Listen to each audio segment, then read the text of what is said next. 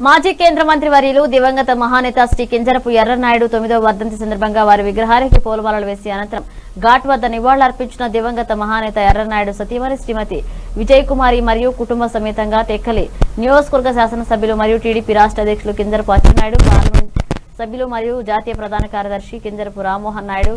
హరిప్రసాద్ రాజమహేంద్రవరం నియోజకవర్గ శాసనసభ్యురాలు శ్రీమతి ఆదిరెడ్డి భవానీతో వారితో పాటు జిల్లాలోని ముఖ్య నాయకులు కార్యకర్తలు అభిమానులు పాల్గొని ఘాట్ వద్ద నివాళులర్పించి కీర్తిశేషి ఎర్రనాయుడు పాత సన్నిహిత సంబంధాలు గుర్తు చేసుకుని కార్యక్రమం